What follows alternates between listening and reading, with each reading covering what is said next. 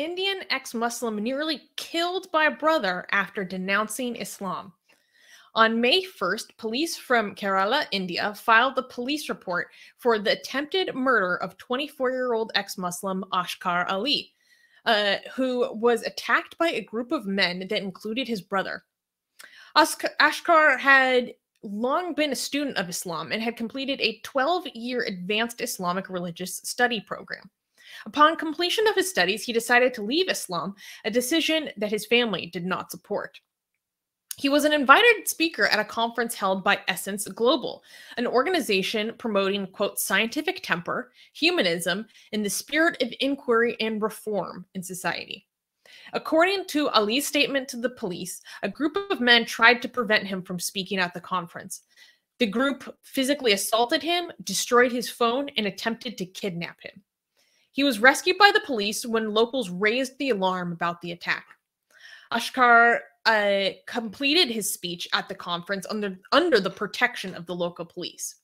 A recording of the speech, which details his quote path to humanism and his criticism of Islam as quote the real fascism, has already gained mass attention in India, accruing nearly a million views in less than a week.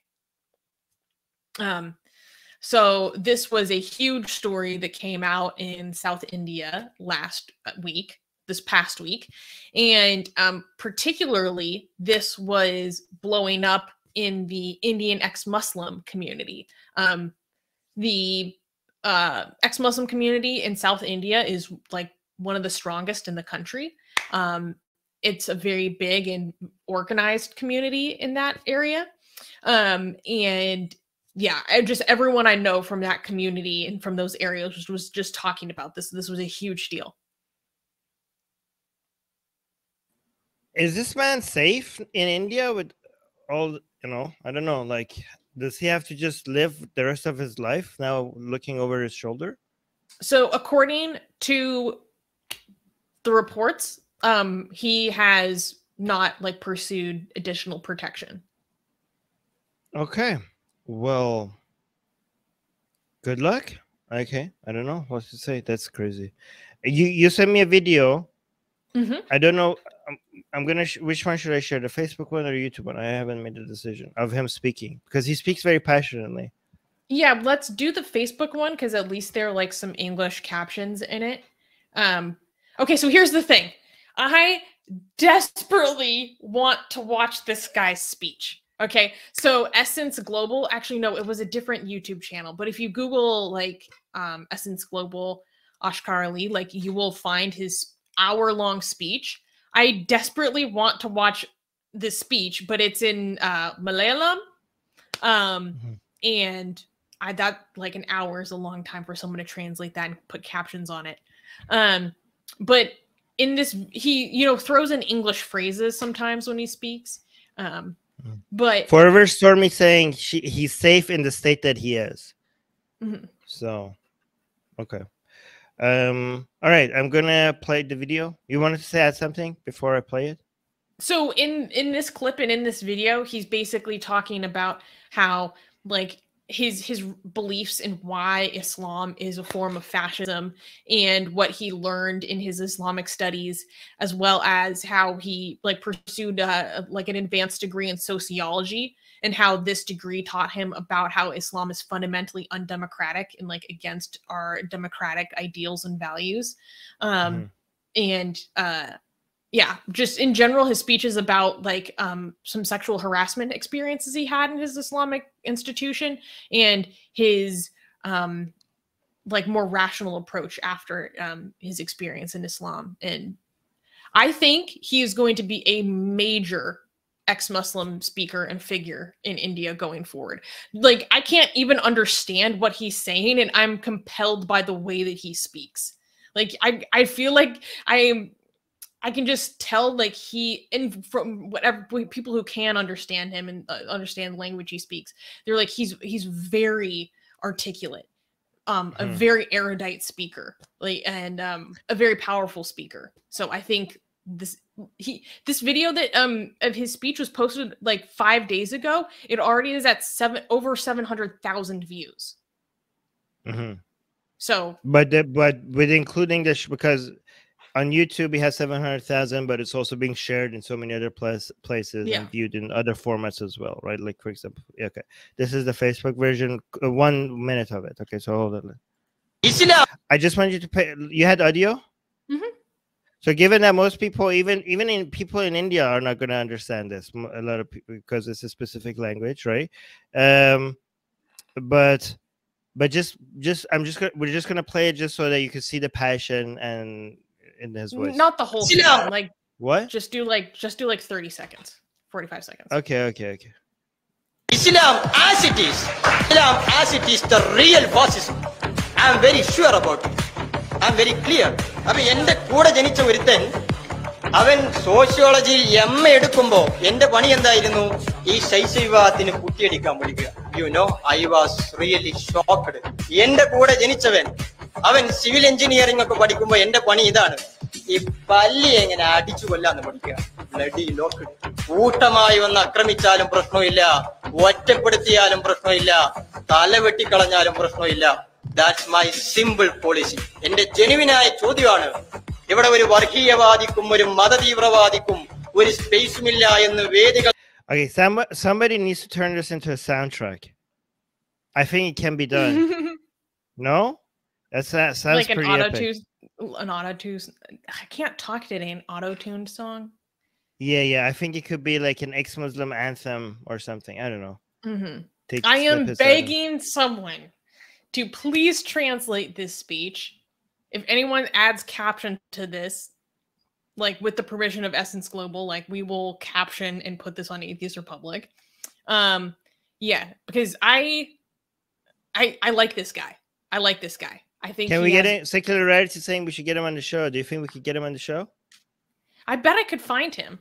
So I am friends on Facebook with um a few months ago we talked about uh this ex-Muslim in from the same region named Anish and how the police um took action against him, like preempt him supposedly from the pressure of Islamist groups.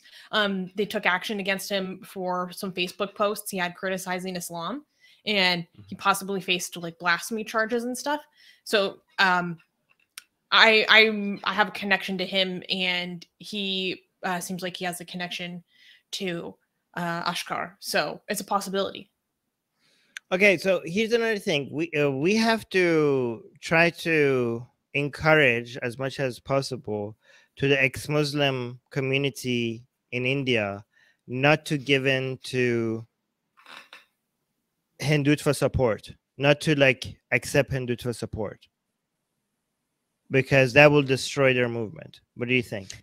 I um agree. I obviously I agree. I don't from people I know they report that they're not really inclined to do that already because they face a lot of discrimination because of their their like the name that they have Yes. itself.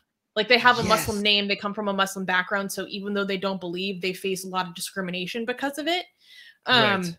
so th- of course there are some that do or there are ex-Muslims who are actual Hindutva, right? Um but people report to me and again it is anecdotal. I don't have studies that um So here's what I Yeah, think is that's not the case. happening. Mo- uh, mm, I think a lot of ex-Muslims who left Islam will still notice that Hindutva doesn't care that you left Islam. You're you're still to them to them you're still a Muslim because you come from the community. Um, but They- if you just a second, please. But if you are outspoken, okay, so we have ex-Muslims but we also have ex-muslims who are very outspoken against islam okay most the vast majority of ex-muslims just leave islam but they're not activists right but i think hindutva even though a lot of them would be this this discriminatory against ex-muslims they will make an exception some of them for an ex-muslim who is going taking a stance against islam they're like oh here's a token ex-muslim that we could celebrate because of how anti-Islamic he is. You know what I mean? As well like yeah, you've gone through that experience. Yes, I've gone through, and I and I I have, and I came through the other end fighting Hindutva. But I want people, I want to tell ex Muslims in India that if they're fighting the fascism of Islam, do not do so by defending the fascism of Hindutva.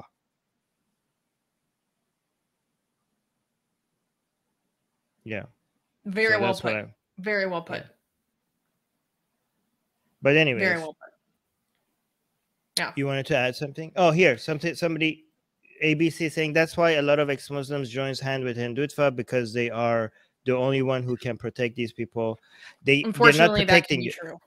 Yeah, but they're not protecting you. They're using you. Okay, you Mhm. okay as an ex-Muslim, you're facing discrimination. Okay, Hindutva is also discriminating a whole bunch of people. Okay, so don't use your experience of discrimination as an excuse to support another group that is discriminating an, a- another group of people. Your experience of oppression or discrimination should be should encourage you to stand up against all forms of discrimination, not just against the group that you belong to. Mm-hmm. Mm-hmm. Yeah. I think Anyway. of you know critics of Islam in India in general, but ex-Muslims in India f- face the particular issue of the many other ex-Muslims you've experienced, like left-wing appeasement to Islam, and the only people willing to talk with them, or the only people willing to pla- platform them, are right-wing people, because the left wing thinks that you are attacking minorities. You know, so they they face that same issue. So you know, ex-Muslims activists in general have to make very calculated like cost benefit analyses about who they're working with. Like Armin, you yourself have like worked with or been platformed by like right-wing people because they were the ones who would take you.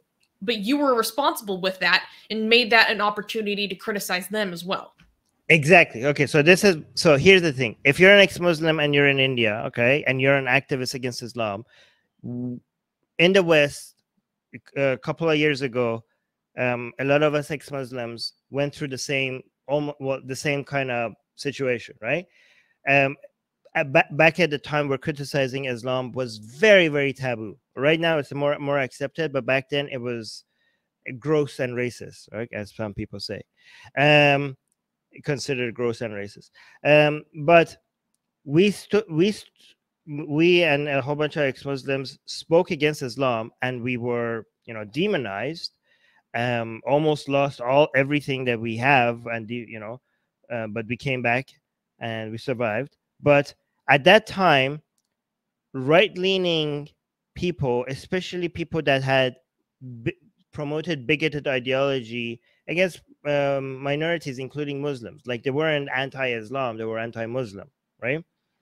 They were the only people who were willing to highlight our cause, right? So some ex-Muslims gave in to that and went that way, and it hurt the movement. The entirety of the ex-Muslim movement was seen and described as by so many people as a cover for bigotry. And it was it really was hard to recover from that image that people had from the ex-muslim movement. So be careful not to go that route because we know we have that experience.